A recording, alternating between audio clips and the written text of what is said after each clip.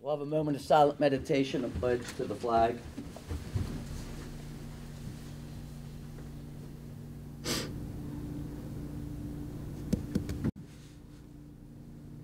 Thank you.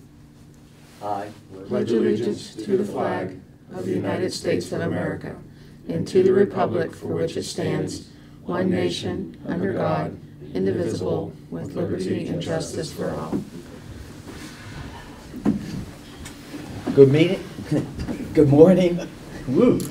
Good morning, it is March 23rd, it is 10 o'clock, all three county commissioners here, and for the first time in two years, none of us are wearing masks. That is, uh, commissioners, and it's optional, so I just want to make sure. So I'm real pleased that we have the option. We now have consents and approval. Good morning. Morning. I've We been up have- most of the night. Four exonerations for $638.39. Minutes for March 16th, 2022. Vouchers, General County Fund, $109,315.40. 911, $3,203.43. Chestnut Ridge Park, $838.45. Camp Muffly, $13,847.45. Mason-Dixon Park, $162.47. Assessor's valuation, $1,584.50. Purchasing card vouchers, general county fund eighteen thousand two oh two eighty-six. Nine-one-one, two fourteen ninety-two, Camp Muffly, one thousand fifty-six oh three. Assessor's valuation ninety-five forty-five for a voucher total of one hundred forty-eight thousand seven eighteen ninety-six. The position vacancies for boards and authorities are listed on our website, and we have fiduciary orders for March twenty-third, twenty twenty-two. Move to approve the consent agenda as presented. Second? Proper moved in second, all those in favor say aye. Aye. Do we have any fiduciary orders? You, you just approved the orders. Well, I mean, any fiduciary Any Um, addition? Additional, no. Okay, uh-uh. yeah, I always ask that, okay. Introduction of new employees, prosecuting attorney, we have, Um, yes. yeah. Not really new. No. it's Um, re- Rehiring. She is uh, bringing back uh, Ponch for a part-time temporary position as an assistant prosecuting attorney with a weekly salary of eleven hundred dollars. No fringe benefits will be required, and this is again just a temporary position. Right. Move to approve the position as presented. Second? Proper moved in second, all those in favor say aye. Aye. Aye. Are there any other positions? Okay. We now will have comments from the public. You have four to five minutes to come before us. Please state your name, your address, and how we can help you. Is there anyone who would like to speak? I do. Okay, feel free. Welcome. Want me to stand stand here? Uh, oh, if you go to the podium, I'm sorry, the camera can s- see it, so everyone can know who's talking. Okay. All righty. Uh, Well, my name's Kevin Daly. Um, I live at 3401 Earl L. Core Road. Um, That's in the Richard area, um, a little past Rock Forge, about a mile off of the interstate uh, on Route 7 East. Um, We've lived out there since 1996. Uh, Since that time, uh, we have acquired nine properties. We have put considerable amount of money into them. Um, We're, um, we have seven at this point. We sold two last year. Uh, We sold one for uh, 77.5 and one for 105,000. Now, if you know that coal mining community, you know that's pretty good money for that. Now, if you know Morgantown, you know that's not, you don't get much for hundred thousand dollars in Morgantown. So we've put a considerable amount of money in these properties, and we've, uh, we rent those out. Uh, rents in the eight hundred to thousand dollar a month range.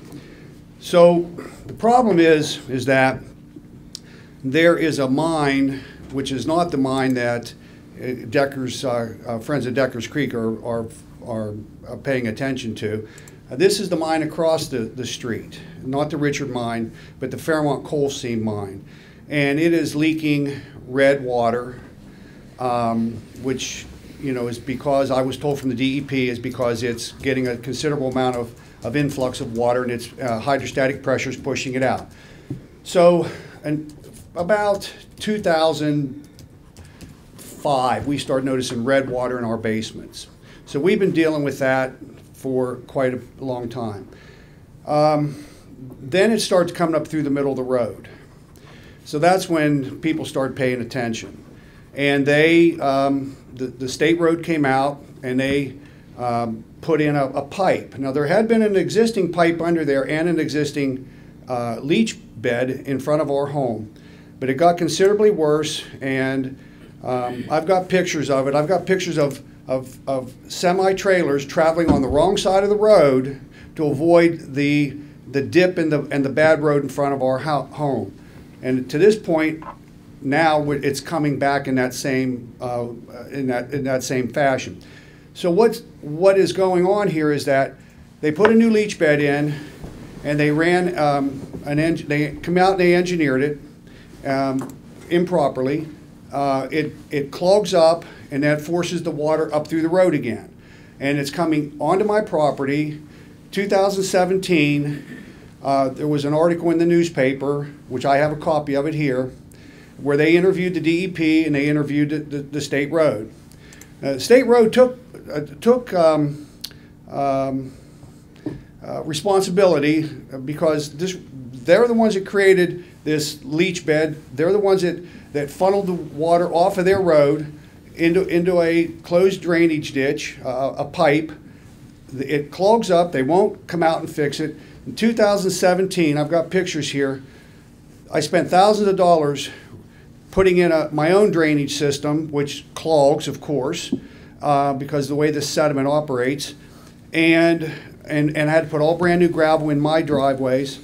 Um, it's it's hard for me to to rent a property when people drive through this and see what's going on. It's it's even harder for me to sell a property. Um, so it's it's deteriorating our, our property values as well. So I've been on in contact with a woman um, from the state road. May I say her name? Sure. Um, her name is uh, Tanya Clemente, and Yes. she's in Bridgeport. And she's, I'm, I'm, surprised they even have that position, honestly, uh, because but she's there trying to do the best she can. And um, you know, I can't get anywhere with David McCormick locally. Um, you know, he. Uh, let's just we'll ignore that that that position. Um, so it, since 2017, they've cleaned this pipe twice. It really needs to be cleaned out every six months to once a year. Um, right now, it's beyond anything it's ever been. The actual uh, um, square cement box with the grate on it is not even visible. It's, it's totally total mud. It's going down both sides of the street. Um, I mean, I can show you pictures. It's, it's pretty horrible. So what I'm here today to, to do is um, to ask the commission if they could reach out to the state to the state road, okay? And I know that that the engineering issues are, are something that you know is is not, but at some point, the DEP and the state road are going to have to come to some kind of um, uh, consensus that something seriously needs to be done out here because it is going both directions, and and so it's just not affecting six homes right now. Uh, the, uh, the Phillips properties, um, Ralph Phillips property across the street. Uh, what happens is it's breaking up the road. Uh, it, this red ooze is coming up. There's also silver oxide coming up. Um, it's it's not a good situation. We we replace sump pumps at least once a year in these basements. We'll deal with that. That's we can we can have that. But I can't have this stuff coming into my driveway. I can't access my property. So, uh, I, if you, uh, that's all I really have to say at this point. If, if anybody would like to take a look at the pictures, if that would be of any value, I, I know you're gonna work in my favor. I, I appreciate this. So, and that's all I have to say. Would you like to um, Share the pictures. share the pictures of And then we will probably speak to you a- during our presentation. Okay. So, basically, I want to give you first the article that was in the paper. Now, That got it moving a little bit at that point. What I'll do is I'll, And we'll and then give- here's the pictures. Yeah, if you give it to him and then we'll pass. Okay. Now, that first picture you're gonna look at is dated, that's what it looked like last fall. And when you see the pictures that are, are newer, you'll see how quickly it can, it can create a problem. June fifteenth, twenty seventeen. So, ju- just for clarification, they have, it is precedent that the DOH has gone out and done something out there. Yes, they created this. That's all I wanted, yes, that's important to know. Okay. Thank you. We will probably address it at the end. Thank you, sir. Thank you very much for coming. Is there anyone else who'd like to speak? Okay. Seeing none, we'll close the comments from the public. Proclamation Fair Housing Month. Is there anybody here? Uh, no, this was requested by Region Six, Oh, uh, Planning Development Council. It's something you've done at least once before. Um, I think it's part of the, in order to be eligible for, um, community development block grants, you have to pass a fair housing resolution. Um, would you like me to read it? Yes, please. yes, please. Whereas the Monongalia County Commission desires to give meaning to the guarantees of equal rights contained in the Constitution and laws of the state and the United States, and to encourage and bring about mutual self-respect and understanding among all citizens and groups in Monongalia County. And whereas under the Federal Fair Housing Law, Title 8 of the Civil Rights Act of 1968, is it is illegal to deny housing to any person because of race, color, religion, sex, or national origin. And wherever, whereas, sorry, Whereas, under the West Virginia State Fair Housing Law, Title 49-2-305, MCA, a, it is illegal to deny housing to any person because of race, sex, religion, color, age, physical or mental handicap, or national origin. Whereas the Monongalia County Commission makes a firm commitment to do all within its power to eliminate prejudice, intolerance, disorder, and discrimination in housing, and whereas it is uh, that a fair housing law poster, which has the equal housing opportunity logo, will be displayed at the Monongalia County Courthouse, and whereas the following procedures will be used to accomplish the purpose of the aforementioned resolution. The Monongalia County Commission shall inform county employees of the county's commitment to fair housing. The Monongalia County Commission will post this resolution in county buildings and other public places and publicize it. The Monongalia County Commission shall direct all employees to forward immediately to the commission president any reports they receive of housing discrimination. The commission president shall forward such complaints to the West Virginia Human Rights Commission in Charleston within 10 days of receipt of said complaint. Therefore, now therefore, be it resolved that the Monongalia County Commission does hereby proclaim April 2022 as Fair Housing Month. Move to approve the proclamation as presented. Prop moved in second. All those in favor say aye. Aye. Aye. Okay, it passes. Thank you. Do we have any grants? We have no grants today. Correspondence, we received an administrative order received from Judge Gaujot regarding face coverings at the Mon County Justice Center, and it just modeled ours. Okay, so we have that. Any other unfinished business? Correspondence? Oh, correspondence. Sorry, It's okay. No, I it's don't been a have- bad day. No. I'm all flustered, yeah. Okay, now unfinished business. No. New business. Uh, Consideration to approve items submitted by Carye Blaney, County Clerk, regarding the 2022 primary election, polling locations and rates, poll workers and rates, and early voting. Good morning. Good morning. Good morning, Carye. And we have that before us. Uh, Yes, it is that time of year again, and it's hard to believe that we're quickly approaching the May 10th primary election. But before you, um, I have the poll workers, which have been presented by both the Republican County Executive Committee and the Democratic County Executive Committee. The list represents 156 of the 165 poll workers that we need to be fully operational on election day. So, um, with your approval today, our office will begin the process of contacting each of those appointees and confirming their um, work for the primary and scheduling them for their training sessions, which will be held in April. Um, I will call your attention that um, the rates of pay uh, represents a $17 increase from what we've paid in the past. Um, poll worker pay is subject to federal taxation, IRS taxation, and so we try to keep our pay um, on the high side, but underneath the threshold that requires them to be put on payroll and have uh, payroll taxes withheld, and uh, being required to obtain a um, W-2 for that. So that's what represents that. Part of it is for attending a training. Part of it is working for Election Day. And if a person attends a training and subsequently does not work on Election Day, they do not get paid.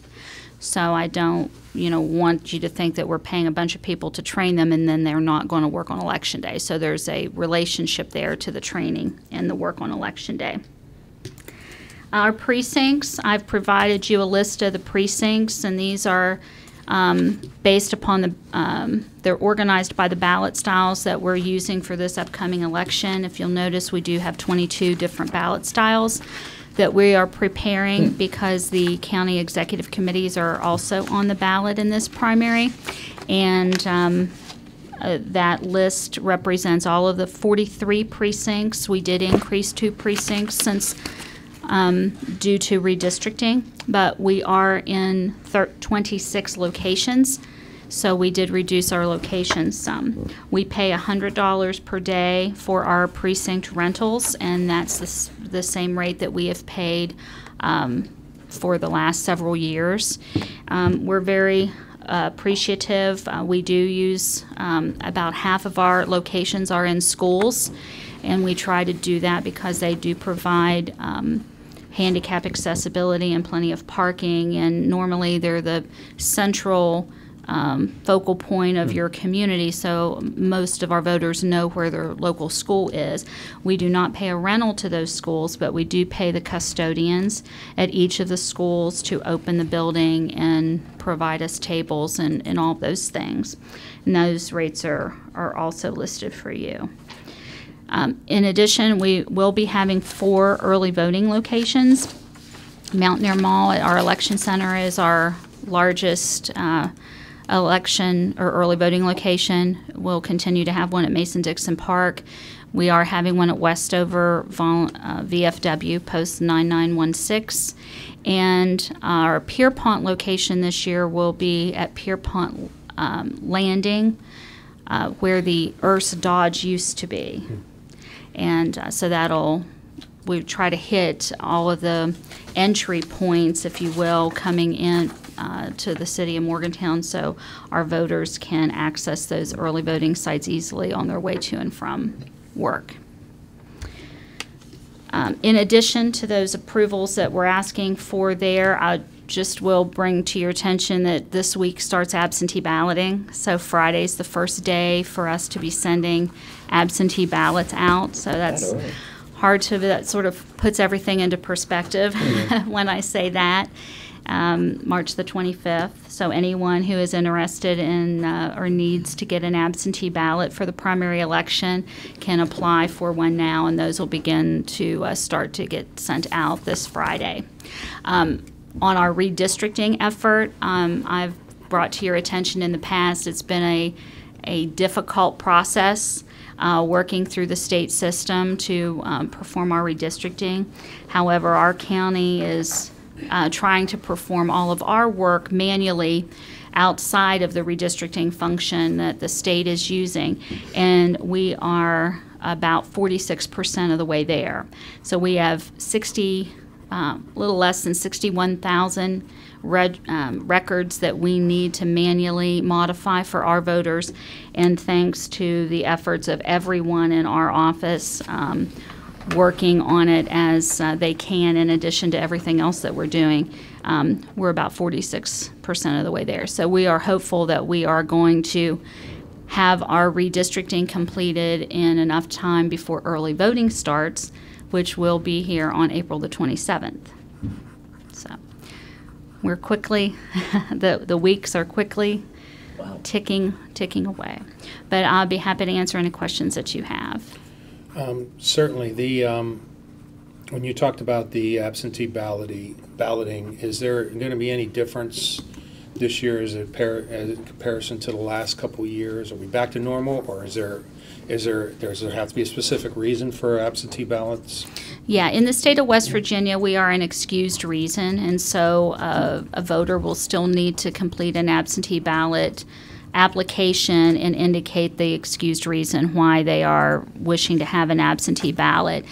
in prior years, they have opened it up, and um, concerns about COVID 19 have been a valid reason. Um, and they have removed the COVID 19 um, language from the application. But anyone who is of advanced age or who ha- is immunosuppressed uh, can still use the medical illness reason to request their ballot. But they've, they have removed the language itself Right. of um, fear of COVID-19. Okay. Yeah. And anyone that has any questions, uh, we certainly have all of those applications online.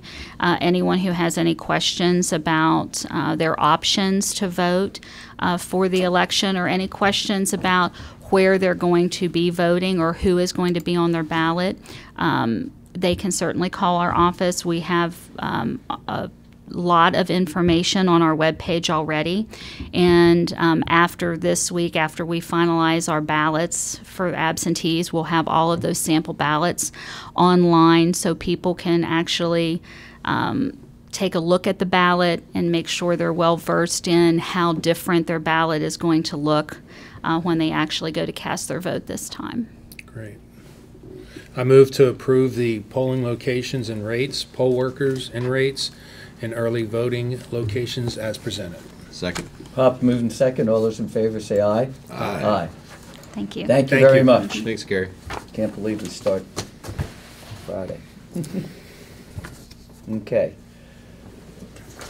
B, to consider the adoption by the county commission of a resolution and order which would authorize the execution and delivery of a six supplemental indenture of trust, the six supplemental indenture by and between the county commission and WesBanco, the trustee, for the purpose of correcting an erroneous date reference in section four point zero six E III of the fifth supplemental indenture of trust, the fifth supplemental indenture dated June 9, twenty twenty-one, by and between the county commission and the trustee pursuant to which the county commission's junior subordinate special district excise, wow, excise tax revenue refunding and improvement bonds, Series 2021 C taxable University Town Center Economic Opportunity Development District were issued.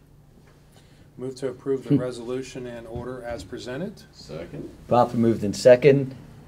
We have, Jason, you want want to? to hear from me? Yes. Sure, just so we could, yeah. For the public, could you So they can understand in, in, well, Cliff Notes version. You guys just love our, uh, I our items that, that we give you, right? This one is actually a, a pretty straightforward one. Okay. As, the three of you probably re- recall, last spring, uh, it was early June, obviously based on the date here, uh, we issued a, a three series of bonds uh, for the University Town Center Excise Tax District. Um, the the Series C bonds were junior subordinate bonds issued uh, with placed with the developer Westridge for the purpose of you know, re- reimbursing them for some of, of their out of pocket expenses. Um, they're junior subordinate. They are last in line for payment of all the bonds that are outstanding in that district. And they're payable only from ex, uh, excess revenues that are available after payment of all the other bonds and administrative expenses and whatever else. And um, in the process of drafting the uh, fifth supplemental indenture, which was the uh, document under which those bonds were issued, uh, there was a uh, erroneous date reference in section 406E, which pertains to the date on which those principal payments from excise from excess excise tax revenues begin. Uh, there was one section where it said June 1st, 2022. 406E, little little three, said June 1st, 2024. So uh, WesBanco, the trustee, in trying to set up how these payments will work, brought this discrepancy to our attention. We went back, um, looked at uh, all the documents surrounding uh, this issuance to make sure we knew which date was the correct date. We consulted with the uh, counsel for the, uh, the placement agent of these bonds, KeyBank, and uh, the bondholder, Westridge, to make sure that they were on the same page and that our thinking was correct. And we all kind of got together and determined that the June 1st, 2024 date was the erroneous date. These payments should begin June 1st, 2022. And so the way to correct that in the fifth supplemental indenture is to have a sixth supplemental indenture, which just kind of restates that one section with the correct date in there. Um, and so this is just an authorizing order authorizing Making the the president to sign, the, the clerk to sign and, and attest, and we'll take care of it from there. Okay. Okay. Okay, this has been moved in second. All those in favor say aye. Aye. Aye. Thank Thank you. you for this. I'll get some signatures from you after the meeting. Okay. Thanks, Jason. Shouldn't be too long. Consideration to approve a letter of support for the historic Morgantown Post Office building renovations and expansion of programs. Move to approve the letter as presented? Second? Prop moved in second, it's self-explanatory. Um, all those in favor, say aye. Aye. Aye. Okay. Um, is there any other? It's not really new business, but I need to make a correction to something that was approved last week. Okay, Okay. Um, last week, you all approved a requisition for the industrial park. Um, the way that it was listed on the agenda was incorrect. Mr. Adrian had asked me to keep a placeholder for his requisition, but he didn't tell me it was for a different project. Gotcha, It, so the one that was approved wasn't actually correct. what should have been approved Okay. by, by, by the wordage of, of, of the agenda. I hope that makes sense. Okay, So it actually is requisition for payment number one, which is the correct requisition that was mentioned. Yeah. Just the title was wrong. Oh. Okay. Okay, so in order to make the bank whole, we're just we're clarifying just that. amending the Yes. name. So The it wa- title. for the Series 2021B Harmony Grove Phase 1 Infrastructure Project, Project Fund, Okay, instead of what was on the agenda. okay, We, So- we, we knew there was a difference and we knew, we, cr- we approved the correct one. It's just the title on the agenda was Right. wrong. That's correct. exactly. So I have a motion to just change the title. So moved. Second? Prop moved in second, all those in favor say aye. Aye. Thank you. Okay, quite welcome. Any other new business from any of the commissioners? Okay, if not, any reports from elected officials or department supervisors? Seeing none, reports from county commissioners, Sean? Uh, Since the last meeting, uh, last week after our Wednesday meeting, I had my uh, MAP board meeting, Morgantown Area Partnership. On Thursday, we had the Mylan Park Executive Committee meeting, uh, and then we had, we started our budget meetings, as we had a few budget meetings here commission chambers. And in the evening, we had the MMPO meeting. Friday, I had broadband right-of-way and easements discussion with our consultants, uh, furthering that, that, that process. Um, We had staff reports, and then we also had budget discussions as needed. Um, Monday, we had grant reviews and final budget reviews. Uh, Yesterday, we had um, monthly bre- breakfast with uh, Delegate Statler and uh, Ron Lytle from the school board and former Superintendent Devono. And then I had an evening meeting last night with some constituents that wanted to uh, talk to me, get my views on things. Uh, today's a regular day. Uh, tomorrow I have a broadband call, and then we have a special MMPO meeting. Uh, Friday we have a special meeting for our budget approval. So I do want to note to the public that we will be approving our budget on in a special meeting on Friday, and that meeting will be publicized at 10 o'clock. And then we have our staff reports. In general, um, we've been really working a lot of hours in the last two weeks on the budget process. And I want to thank all the elected officials for their, their participation in that process. And I especially want to thank um, Renetta, our administrator, for all of her work.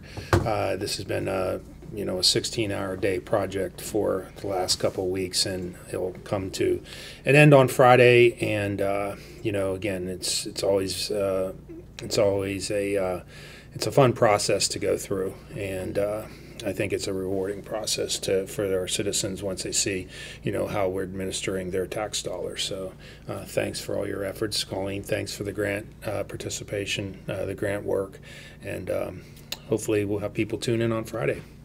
I want to echo Sean's comments about the uh, budget. We have put in a ton of hours the last couple of weeks, and, I mean, we'll get emails and texts from Renetta late night, early morning. She's been working tirelessly, so we thank you for your efforts.